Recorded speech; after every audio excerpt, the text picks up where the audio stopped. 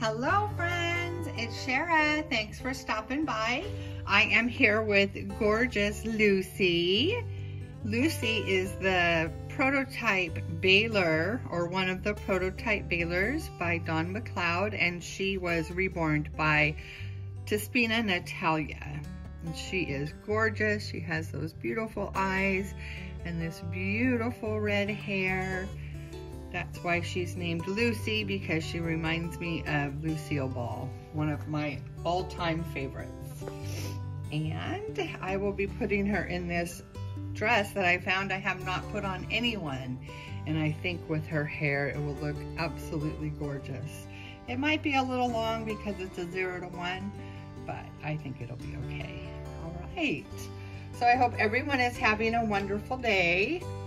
I did do my Toddler Tuesday video with my pseudo toddlers and I wanted to come on again and do a changing video. She has been in this outfit for much too long because I just really love it. I think it's absolutely gorgeous. All right, baby girl, let's get it undone. But she has had this on for several weeks, haven't you, sweet Lucy? Haven't you, pretty girl? Oh, oh, Mama, take it off and put you in a pretty dress. Yes, I will. And you will look so gorgeous. She has a really pretty little bracelet on. Huh, you're just a pretty little girl with your little sideward glance. Yes, you are. This is a little, I wasn't sure if it was Mayoral or Babadoo, but it's a Babadoo you have socks on? No?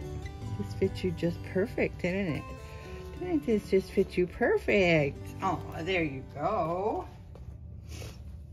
There you go. My allergy medicine hasn't kicked in yet, so I apologize if I sniffle. All right, we're gonna get this on, pretty girl. All right. So while we're changing Sweet Lucy, I thought I would answer the tag that I think was done by Julie at the Country Cottage. And it's things you may not know about me. So first off, current or former jobs. Well, until I got my degree in the medical field, I had quite a few jobs. I was, you know, I had high school jobs and then I was in the army. I was a legal specialist and then I worked in loan processing for several years and after the birth of my third child, I realized it was going to cost too much money to continue working. It would cost too much for daycare. So I decided to go back to school and it was the best thing I ever did because it led to my dream job working in the school nurse's office at a very large school district. I worked in elementary and middle school and then that led to me getting my teaching credential. So then I taught high school and oh, it's not even too long. And then I taught high school and I taught adult school. So that was awesome. So I think that uh, covered that question. And then personal goal for 2022, I want to lose weight. Um, I had the gastric sleeve back in 2014. I lost 110 pounds. Um, I have gained some back, and I think part of it was I was in a wheelchair for four months uh, after foot surgery. Uh, I could not put any weight on my foot. And then um, also my son moved in with me and he's a great cook and he eats different foods than I had become accustomed to eating. And traveling to New Zealand, I just, I just think I put on some weight, so I want to lose that. And more so for my health, it has nothing to do with vanity. I, I just want to make sure that I'm as healthy as I can be um, having a stroke at 44 really instills that in you. Oh my gosh, doesn't she look so cute? All right, I'm gonna put these long cream colored socks on her. Um, next question, hobbies aside from dolls. I don't have any hobbies other than my grandchildren. Um, as I have stated before, adult coloring and then reborn dolls is my um, real, are my real first hobbies.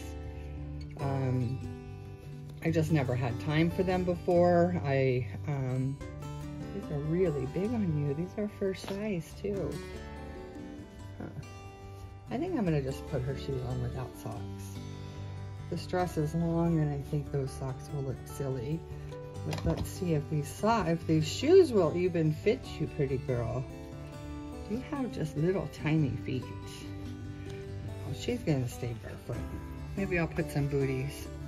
Um, so yeah, I don't have any other hobbies. I don't do adult coloring anymore because my hand has gotten so bad. Favorite relaxing activity? Well, shopping, online shopping. Whether or not I buy anything, I love to look. And that started, that started with the birth of my first grandchild. Trying to get all of the things for him and then just spoiling him. And then it continued on with the following grandchildren. I mean, I would buy them clothes for seasons ahead. Like it would be winter and I would be buying them clothes for spring and summer. I would make sure I got the right sizes. So once COVID hit and I was no longer able to bring things by airplane to them when I would visit, because I was visiting every few months, um, it just was uh, too expensive. It wasn't financially sound to have them shipped. You know, however much I got them on sale, it just totally negated that with the price of shipping where I can take an extra bag on an airplane for only $150. I sent them two boxes in the beginning of COVID, two huge boxes, and it was almost $900 to ship them. So, and they did not weigh anywhere near the $50 that I, or the 50 pounds for a $150 bag on um, on the airlines. You could take a 50 pound bag for $150. So, and they were pretty set with their clothes and I have sent them some things, but nothing, you know, nothing like I had. And then I discovered Reborns. Well, I started buying a lot of stuff in adult coloring, but then started with Reborns and then that just was great because it was my shopping and then it was baby stuff, which I love to buy for my grandkids. So it just all worked out perfectly. So that is what I do for relaxing. Do I prefer city, country, or remote? Well, I've never lived remote or country. I've lived suburbs, um, but I've never been very far from a city. Um, this is the very first time I've actually lived in the heart of the city. I live in downtown San Diego and I love it. I think it's nice that there's so many things within walking distance. There's a lot of nice transit, um, buses and trolleys and um, we have the train that goes up the coast and back down for commuters. There's the light rail up in North County. So I, I really do like to have access to a big city. Nationality. Well, I'm American, but I descend from mostly German and Scottish. My dad was half German, half Scottish. My mom is Heinz 57, so we've got a lot in us. Um, we've got American Indian, we've got probably German and Scottish, French, um, we, we really don't know, and I've never done a, a one of those um, DNA tests. I, I think it would be really fun. Uh, favorite meal or dessert? Ooh. Um, if I had to pick one absolute favorite meal, um, if it had to be my favorite, I have a lot, but it would be my mom's enchiladas. Um, they're more of an enchilada casserole. Um, they are individually rolled, but they're they're more of a of a American version than a Mexican version, which I love those too. But there's just something that I love about my mom's enchiladas. They're made with ground beef. I make them as well, but I'd rather eat my mom's so then I don't have to do the work. Um, so yeah, that with some refried beans would be my favorite meal, but um, my favorite cuisine is Mexican food. Um, dessert,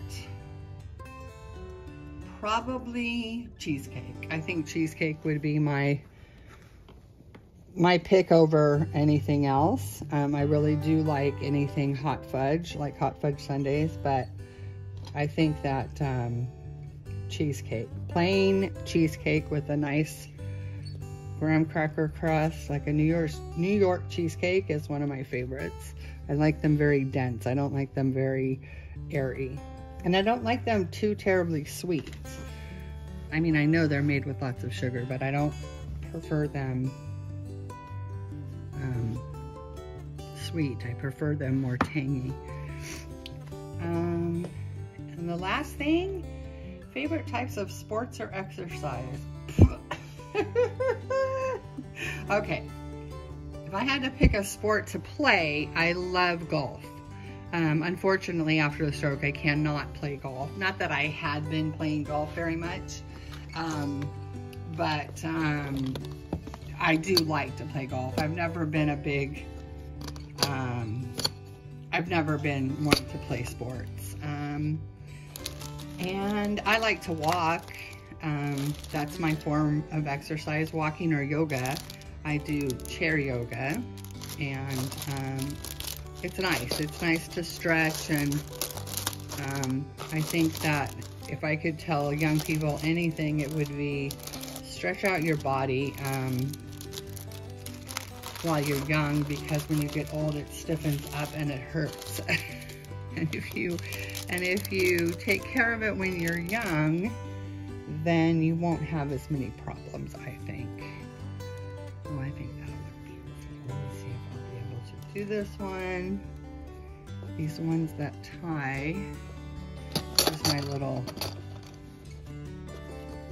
silk and um,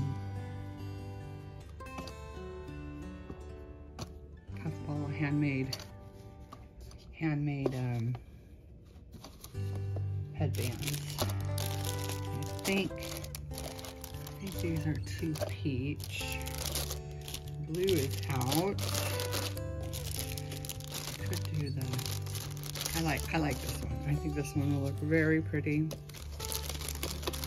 All right. Put my little suitcase away.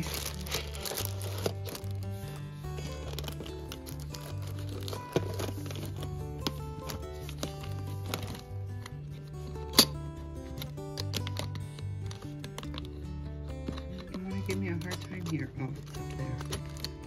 There we go. All right. Missy, let's see if mommy can put this in your hair. I'm gonna sit her up in a in an unnatural newborn pose, but I hope you all forgive me so that I can do this properly on her head. How, how do I do this? I need like Headband 101 or something. I think I'm just gonna tie it and get it the right size and then I'll worry about positioning it properly.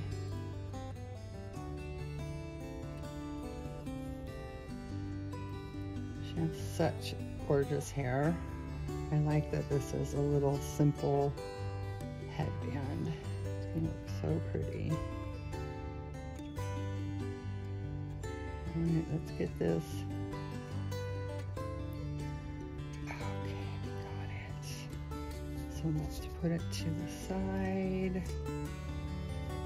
Oh, look. It's so pretty. I love it.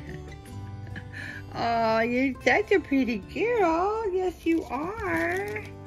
I love it. Let's sit you up one more time So mama can put your hair over the, gosh, her hair is just amazing. Um, Natalia Cispina, she has her hair made specially for her, her mohair. And it is the very best hair I've ever felt. And I've had a lot of rooted hair dolls and her hair is just incredible. I don't know if I got it on there perfect, but it sure looks cute. I don't want to put those socks on, they're too long. So, oh, I know what I can put. If I can find them.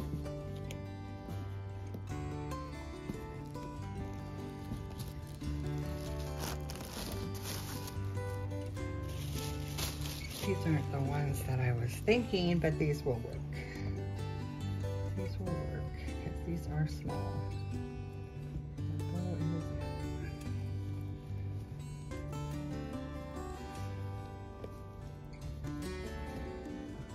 I guess they're not small enough for you, Missy. They're still baggy. But they're cute. They have a little scalloped edge